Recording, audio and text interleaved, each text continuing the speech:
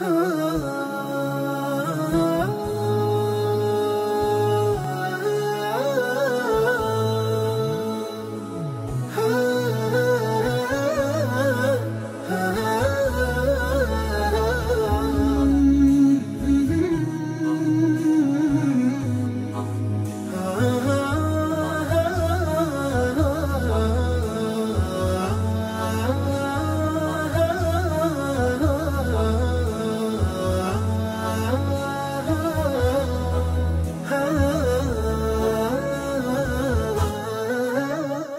اعوذ بالله السمیع العلیم من الشیطان الرجیم بسم الله الرحمن الرحیم الحمد لله. الحمد لله حمد الشاکرین و الصلاة و السلام علی النبی الامین و علی آله و صحبه اجمعین اما بعد دوستان گرامی عزیزان حاضر در برنامه اعجاز علمی در قرآن کریم و سنت نبوی. السلام علیکم و رحمت الله و برکاته امیدوارم هر جا که هستید بیاری به توفیق حضرت حق سبحانه و تعالی از عافیت برخوردار باشید و لحظاتی را که با هم دیگر در این برنامه قرار داریم برای بنده برای شما گرامیان همگی ما مسمر سمر بوده باشد موضوعی را که در این حلقه از سلسله برنامه های فصل دوم اعجاز علمی در قرآن کریم برای شما گرامیان در نظر گرفتم ارتباط می‌گیرد به بحث حافظه انسان و فراآوری یا بازآفرینی این حافظه در روز قیامت در محضر رب العالمین و در عرصه حساب و کتاب. سوره نازعات دومین سوره در جزء پایانی قرآن کریم جزء اخیر قرآن کریم را اکثرا همه من و شما با این سوره آشنایی بیشتری داریم. به لحاظ اینکه در نمازها و در تلاوتها بیشتر تکرار شده است. آیات سوره مبارکه نازعات آیات مکی است و ما بیشترین آیات اعجازی را در حوزه اعجاز تکوینی و معجزات مربوط به احرام های عقیده ما در سوره های مکی داریم. در آیه سی و پنج از این سوره مبارکه سوره نازعات الله رب العالمین میفرماید که یوم یتذکر الانسان ما روز قیامت همون روزی است که انسان فرا می آورد به ذهن خیش و به یاد می آورد و متذکر می شود در حافظه فوری او و حافظه سطح بالای او بالا می آید تمام آن سعی و حرکت و عمل و کار و کارنامه که در دنیا انجام داده است. می‌دانیم که صحنه قیامت رستاخیز هست.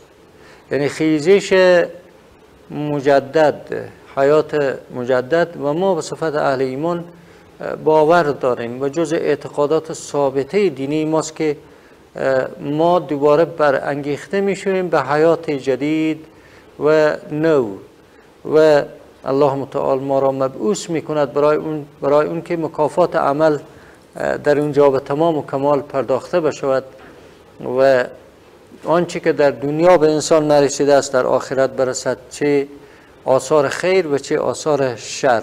تا عدالت پروردگار متعال برقرار بشود و انسان هم به حق که الله متعال به او این حق را داده است یا این موهبت را داده است این عطا و بخشش را برای او عنایت و ارزانی داشته است به او برسد. خوب در این آیه کریمه الله متعال از این حقیقت در واقع سخن می‌گوید که حافظه انسان از بین رفتنی نیست. یعنی معلوماتی که در ذاکره یا حافظه ذخیره شده است این معلومات از بین نمی رود ابتدا بیایم ببینیم که ذاکره چیست بعد نظر علم را ببینیم نسبت به این آیه کریمه که این آیه کریمه این بیان را دارد و این حقیقت را مطرح کرده است. در این ارتباط علم جدید داوری و قضاوت او چیست؟ ذاکره را دانشمندان تعریف کردن تعریفات مختلف و خلاصه و اجمال در این هست که ذاکره محور و تکیهگاه اساسی عقل انسان. و زمانی که ما ذاکره یا حافظه خود را از دست بدهیم ما از تشخیص هویت خود هم عاجزیم. چی رسد به تشخیص هویت دیگران؟ یعنی خود را هم نمی‌شناسیم. و خود را گم می‌کنیم در واقع.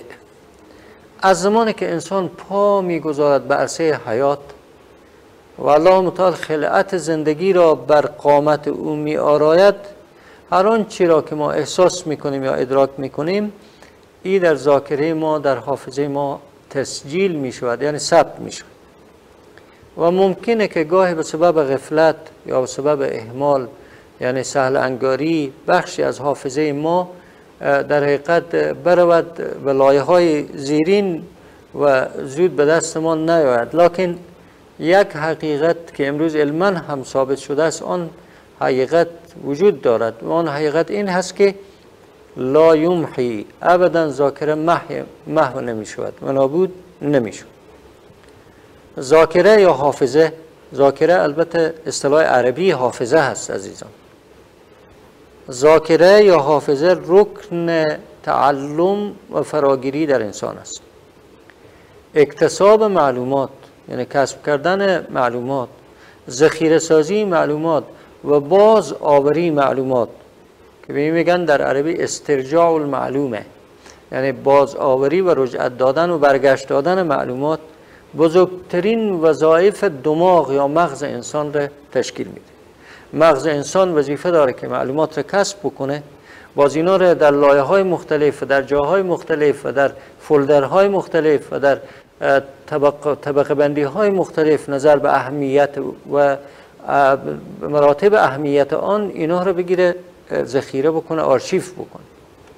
و باز از این آرشیف فرا بخوانه هر زمانی که لازم باشه.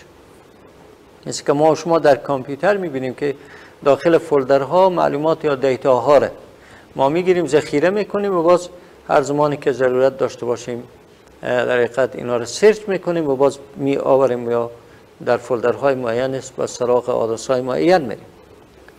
علما در یک تعریف برای ذاکره یا حافظه اتفاق نظر دارن و میگن که یلقدرت علی تذکر التواریخ والوجوه والحقائق والمعلومات والاشکال والمعطیات.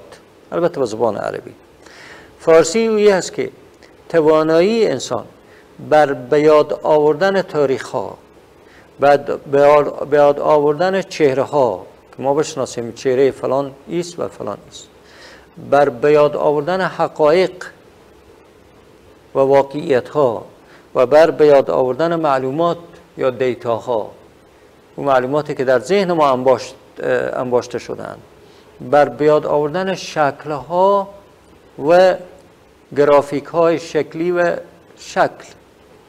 شکل خانه شکل خیابان یا جاده شکل موتر شکل این شکل آن.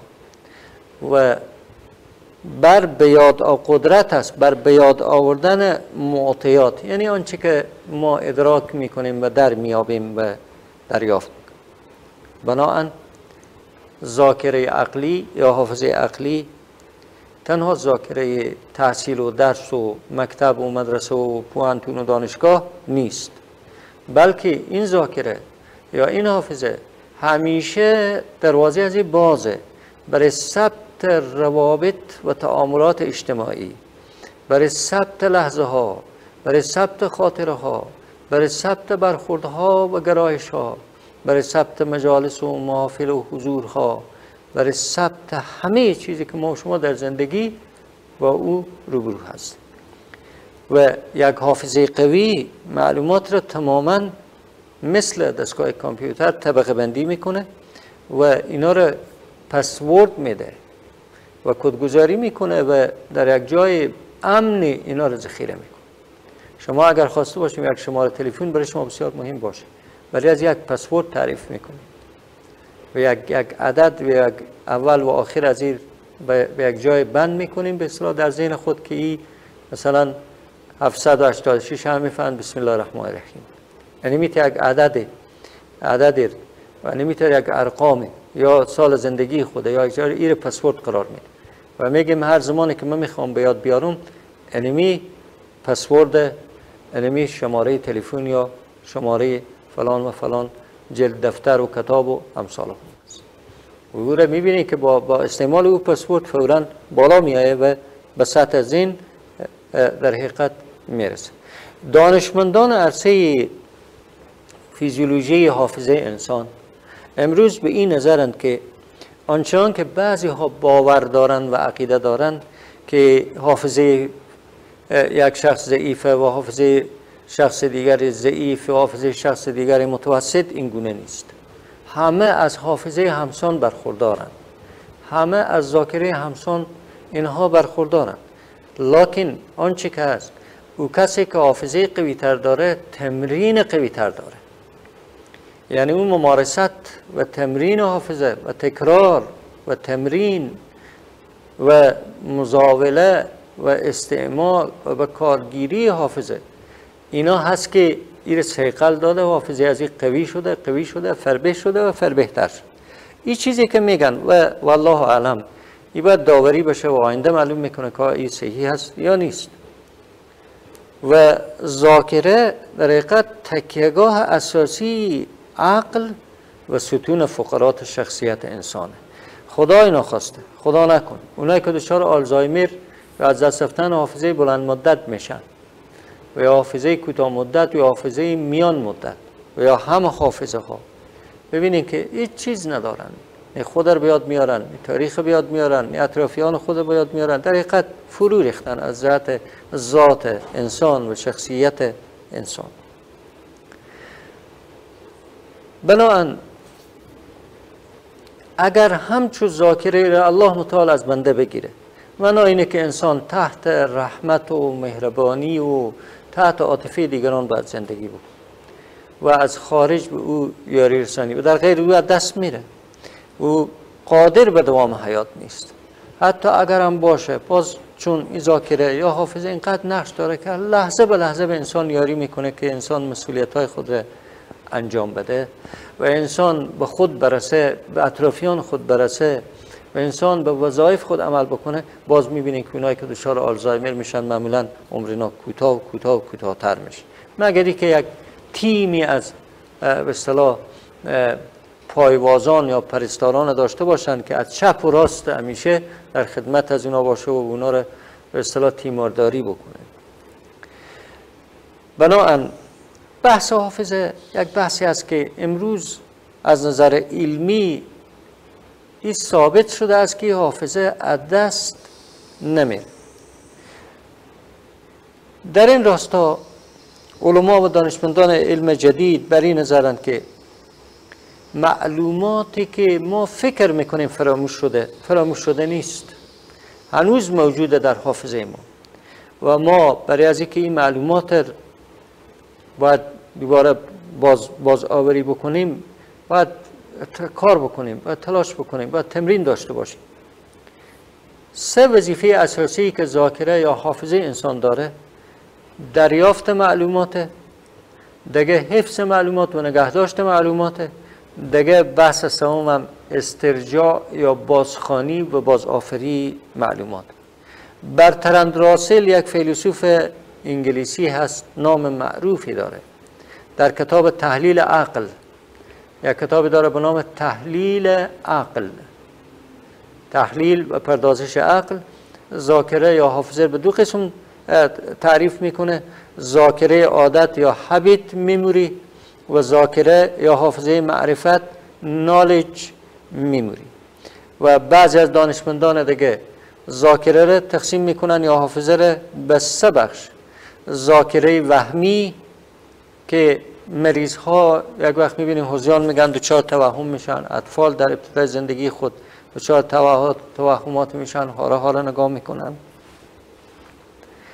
و یک ذاکره دیگری است ذاکره متروکه که یعنی انسان خودی و قصدن در امی راستا امی ذاکره وهمی در بود ذاکره وهمی یک سلسله معلومات و اطلاعات میندازه و سطل آشغال ذهن خود میگه دیگه بالا نیایه.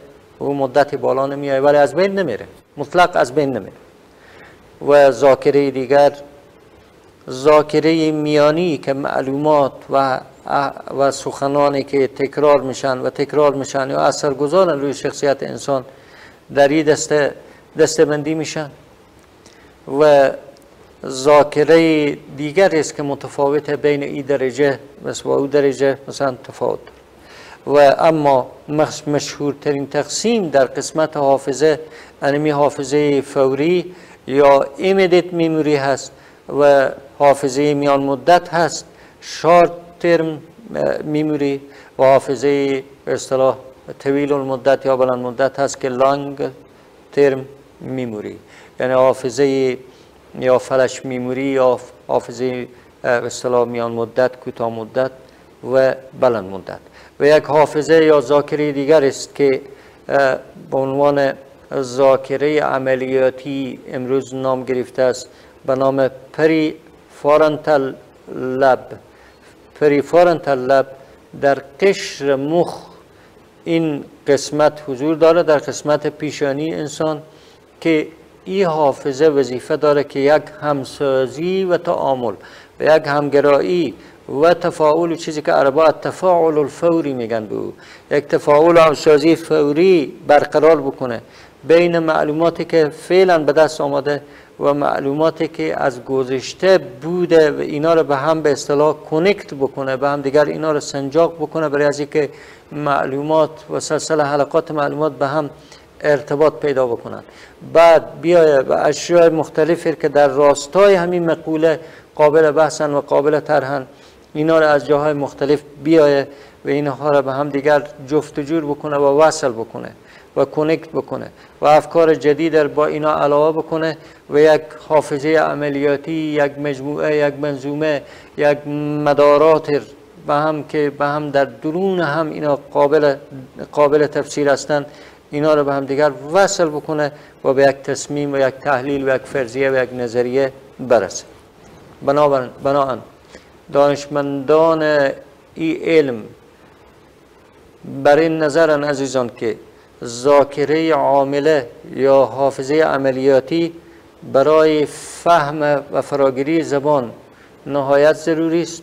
ما صاحب زبان و گویش نمیشیم. طفل نمی‌تونه شده تا قدرت عملیاتی حافظی از اینقدر نباشه که بتونه کلمات به هم وصل بکنه و کلمات گذشته باز به اینا متصل بکنه و همیشه در حال کنکت کردن مفاهیم و کنکت کردن و اتصال دادن معلومات و مطالب و فرضیه ها و تحلیلات و نگرش ها و بینش ها و دیده ها و دریافت ها به هم دیگر باشه.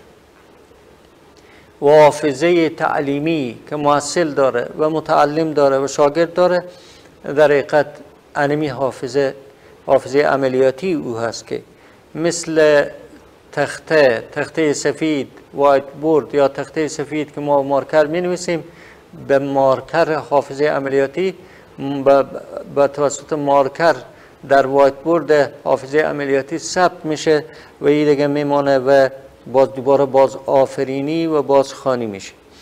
و اینجاست که بحث ذاکره ترابوتی یعنی حافظه ارتباطی مطرح است که این حافظه ارتباطی معلومات را ذخیره می‌کنه برای مدت طولانی بدون از اینکه اینا را عملیاتی بسازه و اینها را فعال بسازه.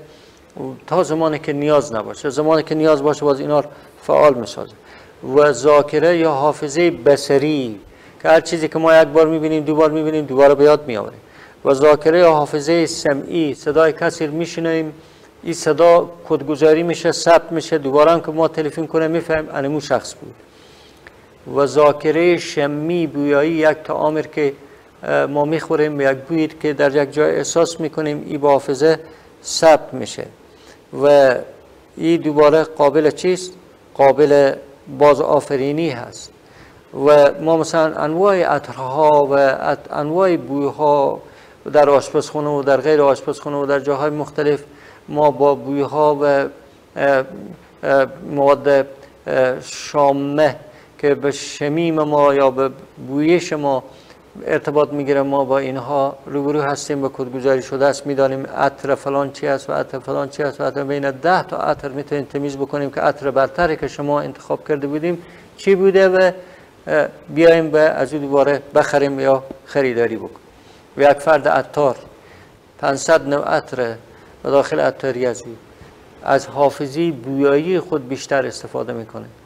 ولی بعضی مارکا هم که پشت نازده است لکن او برای عطار اینقدر مهم شاید نباشه برای از اینکه فولا برای شما میره به سراغ همون عطر مربوطه ممکن است از حافظی بویایی خود بیشتر استفاده بکن و حافظه بویایی قابل ذکر عزیزان که نزد انسان پیشرفته ترین نیست بلکه بعضی از حیوانات حافظه بویایی بسیار بسیار قوی تری دارند.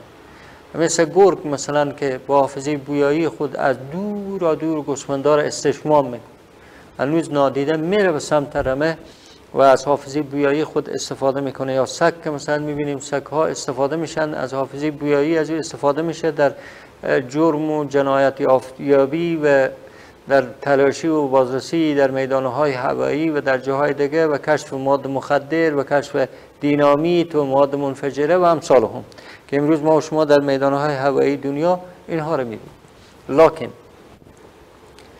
ای بس بس طولانی یک علم عزیزان. این نمیشه که ما به همین انواع در این جلسه بپردازیم و از طرف در حد علم و دانش و فراگیری ها و مطالعات من نیست و تخصص ما هم نمی باشه ولی هدف چیست؟ هدف اینه که ما بیاییم به با طرح هم چون باعث بریم به سراغ اجاز علمی قرآن کریم که الله سبحانه و تعالی قبل از اینکه بشر به حقایق برسه و قبل از اینکه بشر قرن 20 و 21 بفهمه که معلومات حافظه طبقه بندی میشه و از بین نمیره و هرگز از بین نمیره و همیشه در, در لایه های ذهن از او حضور داره در لایه های شعور از او چی شعور سطح بالا چی ما تحت شعور یا زمیر ناخودآگاه.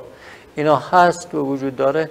الله رب العالمین در قرآن کریم در سوره مبارکه نازعات میفرماید که حافظه از بین نمیره حافظه انسان. و اگر حافظه انسان از بین بره عدالت خدا برقرار نمیشه. برای از اینکه اونجا خدای متعال به یاد انسان میاره که تو فلان کار نکردی او به یاد میاره که بکردم. همه چیز به یاد میاره. همه حافظی و بالا میاره. چون خلقت انسان در روز قیامت به کامل ترین شکل. یعنی خلقت مجدد یعنی بعث یعنی رستاخیز از او. بنابراین او با کامل حافظه خیش و اکمل حافظه خیش اونجا حضور داره. تمام صحنه ها مثل یک فیلمی از برابر از رد میشن و عبور می‌کنن. در کجا نشسته در کجا برخواسته در کجا گناه کرده در کجا ثواب کرده در کجا با کی جنگ و دعوا کرده در کجا با کی اشتی کرده در کجا مثلا چی تعامل با دیگران انجام داد. همه این ها در پیش ذهن او مجسم میشن و اینها باز آوری میشن. و الله متعال در اینجا به صراحت بیان کرده که این حافظه قابل محو شدن نیست. و علم هم امروز به همینجا رسید. بناهن 1400 سال پیش معلومات بشر در قسمت حافظه شناسی وظایف مخ یا دماغ یا مغز و طبقه بندی های حافظه و امثال ای و وسایلی که و ابزارهایی که امروز بشر داره که اینا رو کشف کرده اینا هیچ کدام نبوده. ولی پیامبر اکرم صلی الله علیه و آیات از کجا آوردن؟ اگر از بارگاه رب العالمین نباشه از کجاست؟ چون علم خود در اون زمان اینا رو نمی‌تونسته احساب کنه یا برشماره و یا علم اینها رو تسجیل و ثبت بکنه.